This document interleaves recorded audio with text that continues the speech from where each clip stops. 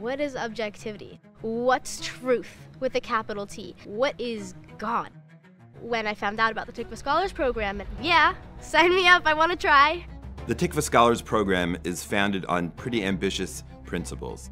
When you gather the most curious, the most passionate young men and women, and you put them in front of some of the best professors, the best teachers, the best educators in a lovely campus setting, great conversations take place and deep, deep learning.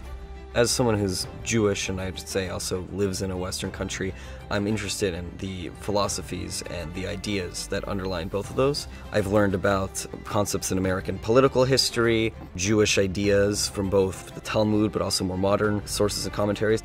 We're not only putting great texts of the Western world, great texts of the Jewish canon in front of our students, but we're also putting some of the most accomplished minds and practitioners in front of them so that they can learn what wisdom is embodied in human people. The way I teach in the Tikvah Scholars Program is by providing a variety of primary sources. They are reading the writings of the thinkers themselves. The learning is really discussion based, and so we'll all familiarize ourselves with the text. And many of them are from ancient Greece or Rome, but there's also some from the Middle Ages and even more modern sources. And then the vibe itself is really discussion based. The students play a central role in the class. It really is driven by their contributions. I have uh, questions in mind and areas of interest in the text that I want to guide us towards, but it is their reaction that fill out the class. One class I really enjoyed this past week was called Greek Thought Revisited in a Jewish Lens. We looked at some old Greek texts like Plato and Aristotle, and we revisited them through the values that we learn in the Talmud and in the Tanakh.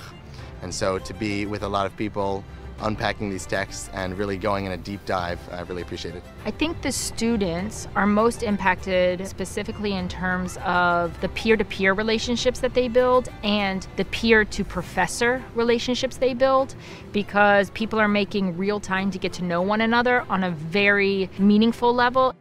It's not only inside the classroom, it's also at lunch and at dinner during the meals. Your professors want to come sit down with you and engage and continue the conversations that you were having previously.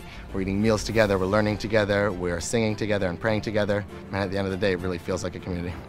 It makes me so excited to wake up every morning and be on this beautiful campus and just really feel like I'm connected to everybody else. There's no other place where you can find just a collective of so many smart, passionate, enthusiastic people. We're going to exercise some muscles and stretch you intellectually, mentally, emotionally, and also just in terms of the diversity of positions that people will encounter.